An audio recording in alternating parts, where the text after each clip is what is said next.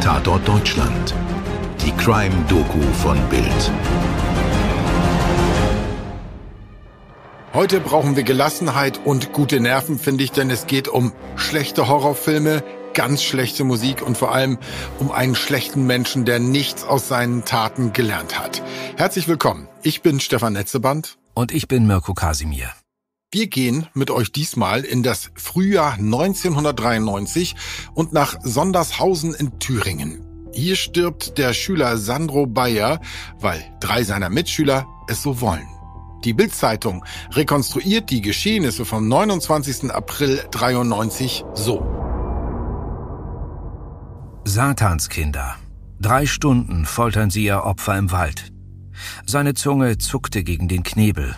Er stöhnte um sein junges Leben. Die letzten Minuten des 15-jährigen Gymnasiasten Sandro Bayer. Ein Albtraumtod. Drei Mitschüler vom Irmisch-Gymnasium locken ihn zu einer Waldhütte. Sebastian, Hendrik, Andreas, jeweils 17 bzw. 18 Jahre alt. Die drei huldigen Satan. Sie schwärmen von Tieropfern.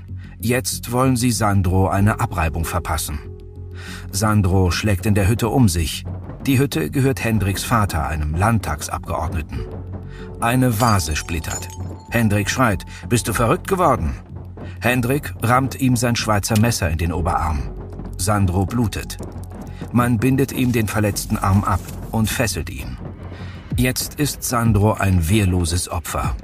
Aber er kann noch schreien. Die drei Satansjünger geraten in Panik. Sie knebeln Sandro mit der Tischdecke. Sebastian und Andreas ziehen ein Stromkabel um seinen Hals. Hendrik hält die Füße. Sandro röchelt, kämpft um Luft. Sein Kopf sackt zur Seite. Hendrik massiert sein Herz. Er will nicht, dass Sandro stirbt. Aber er ist tot. Soweit der Artikel von damals. Die Bild und andere Zeitungen machen aus diesem grauenhaften Geschehen später den Satansmord von Sondershausen. Ich finde, das ist im Rückblick keine wirklich glückliche Wahl, weil es die Tat so ein bisschen ins Filmreife verklärt und weil die Mörder aus diesem Image später sogar noch Profit geschlagen haben. Aber steigen wir mal ein bisschen früher ins Geschehen ein, Mirko. Okay. Sebastian Schauseil, Hendrik Möbus und Andreas K. gehören zu einer auffälligen Clique, die sich schwarz kleidet, kreidebleich schminkt, Black Metal hört, Splatter-Videos schaut und nachts auf dem Friedhof zusammensitzt und mit Blut oder Rotwein Pentagramme auf den Boden malt.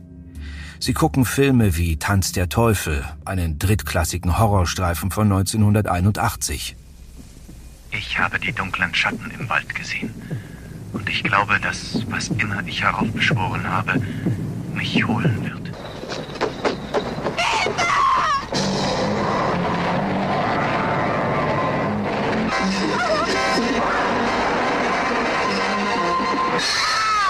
Was ist passiert? Hat dich da draußen im Wald jemand überfallen?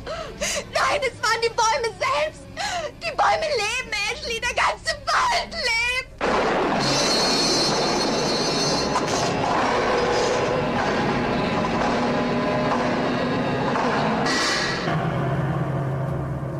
Wie die Journalisten Liane von Billerbeck und Frank Nordhausen später rekonstruieren, wissen am Ort eigentlich alle Bescheid. Die Grufti Gang macht nicht nur mit Satanszeichen wie dem Pentagramm auf sich aufmerksam, einige der Jungs machen auch Musik in der Black Metal Band Absurd. Auch wenn es eine Zumutung ist, hören wir mal rein.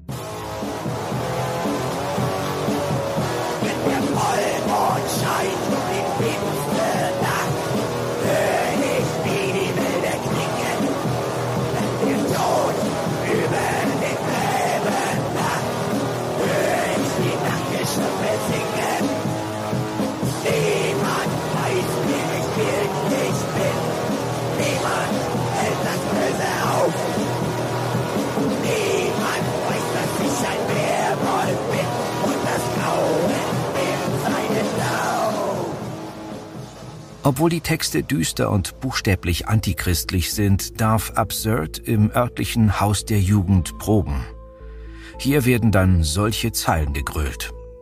Ich stille meine Gier nach Menschenfleisch, dann komme ich in dein Reich. Niemand hält das Böse auf, im Wald hört niemand der Opfer Schrei. Der Bürgermeister sagt später, so habe man wenigstens noch ein bisschen Kontrolle über die Gruppe gehabt. Also, man habe gewusst, was die so machen. Ein sehr spezieller Jugendlicher ist auch Sandro Bayer. Er geht aufs Gymnasium, aber die meisten seiner Mitschüler sind ihm egal. Er schreibt einem Brieffreund, was denkst du denn, worüber die sich unterhalten? Und antwortet selbst, über Fußball, Bier und Kümmerling und über Weiber. Sandro fühlt sich außen vor. Er sieht sich politisch links und hat manchmal Ärger mit Neonazis. Und es gibt etwas, das ihn mit den Leuten von Absurd verbindet. Auch Sandro ist vom Okkulten angezogen, vom Schwarzen oder meinetwegen auch vom Bösen. Aber er findet keinen Anschluss an die Satanistengang. Bei ersten Annäherungsversuchen behandeln ihn die anderen mal wie einen Sklaven, dann wollen Sebastian, Hendrik und Andreas wieder gar nichts mit ihm zu tun haben.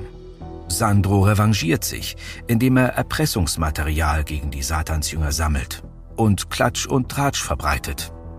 So plaudert er am Ort aus, dass Teufelsfan Sebastian ausgerechnet in eine engagierte und verheiratete Christin verliebt sei. Die Umstände für eine freundschaftliche Annäherung sind also eher ungünstig. Umso überraschter war Sandro wahrscheinlich, als ihm im April 1993 eine Mitschülerin aus der Clique auf dem Schulhof einen Zettel zusteckt. Darauf steht 20 Uhr am Rondell. Abends, bevor er losgeht, erzählt er seiner Mutter Cornelia ganz nebenbei, er sei verabredet. Macht dir keine Sorgen, ich bin gegen Viertel nach neun wieder da. Vom Treffpunkt am Rondell wird Sandro zu einer Hütte gelockt, zur Laube der Familie Möbus. Und hier passiert nun, was die Bild so detailliert aufgeschrieben hat. Sebastian Schauseil, Hendrik Möbus und Andreas K. quälen ihr Opfer zwei Stunden lang. Dann ziehen sie ein Kabel um Sandros Hals und drücken zu, bis er nicht mehr atmet. Als der 15-Jährige auch am späteren Abend nicht heimkehrt, macht sich die Mutter natürlich große Sorgen. Aber noch während Cornelia Bayer und ihr Mann überlegen, wo ihr Sohn abgeblieben ist, verscharren ihn seine Mörder in einer Baugrube in der Nähe der Hütte. Allerdings ist hier kein besonders schlau geplanter Mord passiert. Innerhalb weniger Tage geraten die Satanisten rund um Henrik Möbus ins Visier der Polizei. Erst wird ein blutiges T-Shirt von Sandro gefunden. Später macht der Mittäter Andreas K. auf Druck der Polizei eine Skizze von der Stelle, an der Sandro verscharrt wurde. Als Sebastian verhört wird, gesteht er die Tat fast sofort. Mit ruhiger Stimme erklärt er einem Beamten sachlich, wie es abgelaufen ist in der Hütte der Familie Möbus und behauptet, dass es kein bestimmtes Motiv gegeben habe. Aber die Clique habe schon vor längerem beschlossen, Sandro aus dem Weg zu räumen. Und er, also Sebastian, habe ohnehin wissen wollen, wie so ein Mord sich denn wohl anfühlt. Als die drei Jugendlichen dann vor Gericht stehen, widerruft Sebastian seine Aussage. Auch seine beiden Freunde sagen jetzt, das Ganze sei eher ein Unfall gewesen. Man habe Sandro einschüchtern, aber nicht ermorden wollen. Der Richter Jürgen Schuppner muss nicht nur die Absicht der Täter einschätzen, also den Umstand, ob es hier einen Vorsatz gab oder nicht, er versucht auch den satanistischen Hintergrund einzuordnen. Er hält am Ende folgende Einschätzung fest über die Teufelsanbetung der Mörder. Wir sind davon überzeugt, dass die Tat ohne diesen Hintergrund nicht möglich gewesen wäre. Ganz egal, aus welchen Motiven sie sich damit beschäftigten. Sie haben die Achtung vor dem Menschen, vor seiner Würde verloren. Vor Gericht wird nochmal der Film Tanz der Teufel hervorgehoben, weil er als Vorlage gedient haben soll, sowohl für den Mord als auch für das Vergraben der Leiche. Im Film, wie in Sondershausen, wurde das Opfer in ein Bettlaken gewickelt und im Wald nahe einer Holzhütte vergraben. Hendrik Möbus verkaufte außerdem schwarz kopierte Horrorfilme und er schrieb sehr brutale Kurzgeschichten. Die Staatsanwaltschaft fordert für jeden der Täter zehn Jahre Freiheitsstrafe. Sebastian Schauseil und Hendrik Möbus werden schließlich am 9. Februar 1994 wegen gemeinschaftlich geplanten Mordes, Freiheitsberaubung und Nötigung als Haupttäter im Prozess vor dem Landgericht Mühlhausen zu acht Jahren Haft verurteilt. Andreas K. wird als Mitläufer betrachtet und kommt mit sechs Jahren davon. Das Gericht bleibt mit den Urteilen unter den zulässigen Jugendstrafen. Es will den Jugendlichen die Rückkehr in ein normales Leben ermöglichen.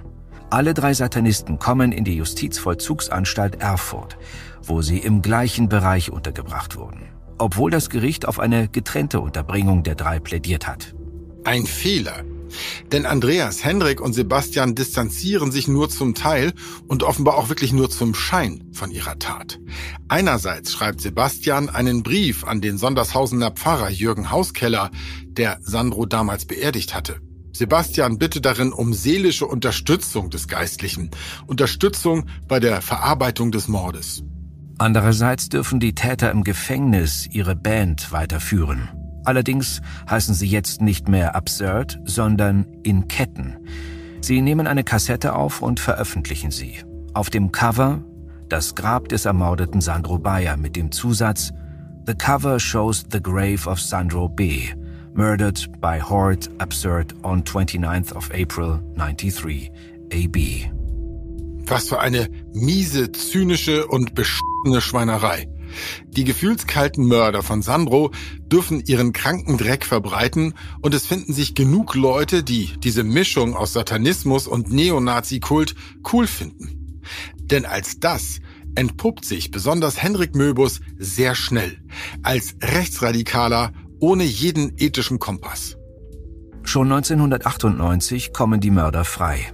Hendrik Möbus wird am 25. August des Jahres als letzter entlassen, nachdem er bei einer Anhörung den Mord nochmal ausdrücklich bedauert hat. Nur einen Monat später tritt Absurd wieder unter altem Namen auf und Möbus zeigt auf der Bühne den Hitlergruß. Er wird gleich wieder einkassiert und sitzt weitere acht Monate ab. Die Justiz muss schnell lernen, was für ein uneinsichtiger Faschist Möbus ist. Als nächstes nennt er Sandro in einem Interview Volksschädling. Da wird ihm die Bewährung gestrichen. Er flüchtet in die USA und taucht dort bei befreundeten Neonazis in West Virginia unter. Aber der internationale Haftbefehl aus Deutschland wird auch hier nicht vergessen. Im August 2000 wird Möbus festgenommen und die Behörden bereiten seine Auslieferung nach Deutschland vor. Möbus und seine US-Nazi-Freunde stellen ihn als Opfer politischer Justiz dar. Es wird ein Asylantrag gestellt. Auf einer Solidaritätsseite im Internet werden Unterschriften für ihn gesammelt. Es machen sich gleichzeitig Leute für ihn stark, von denen sich später herausstellt, dass sie V-Leute für den deutschen Verfassungsschutz sind. Zum Glück nutzt es nichts. Möbus wird ausgeliefert und fährt in Deutschland wieder ein. Über deutsche Neonazis und die Versäumnisse der Sicherheitsbehörden, da ließen sich sicherlich noch viele Podcasts machen. Im Fall Möbus gibt es noch viele eklige Details. Er sitzt seine Strafe bis 2007 ab, schreibt immer wieder Texte für die Band Absurd. Noch Jahre später macht er wieder Musik, verkauft widerlichen Nazi-Merch und muss immer wieder mal beim Staatsanwalt vorsprechen. Ein unbelehrbarer, völlig kaputter Typ. Anders als die Mittäter. Von Andreas K. wurde seit dem Verbüßen der Jugendstrafe nichts mehr gehört. Sebastian Schauseil studierte später Jura und ging anschließend in Thüringen in den Schuldienst. Das sorgte erst vor kurzem nochmal für Schlagzeilen. Satans Mörder darf weiter für Schulamt arbeiten, titelt die Bild im November 2022. Da war herausgekommen, dass der ehemalige Mörder von Sandro Bayer jetzt für die Hortbetreuung tausender Kinder im Schulamt Ostthüringen zuständig ist. Ich muss gestehen, dass ich das bei Weitem nicht so schlimm finde wie die Faschokarriere des Hendrik Möbus. Ich meine, der Sebastian hat seine Strafe abgesessen und dann eigentlich getan, was die Gesellschaft von ihm erwartet hat. In ein normales Leben gefunden. Ja, das sehe ich auch so, Stefan. Wobei solche Nachrichten für die Eltern des Opfers sicher bis heute schwer zu ertragen sind. Das war auf jeden Fall unser Fall für heute. Wir haben Ihnen erzählt mit Artikeln aus Bild und Welt sowie Erkenntnissen aus dem Buch Satanskinder von Liane von Billerbeck und Frank Nordhausen. Skript Stefan Netzeband, Postproduktion Wakeword Studios München. Bis zum nächsten Mal. Euer Mirko und euer Stefan.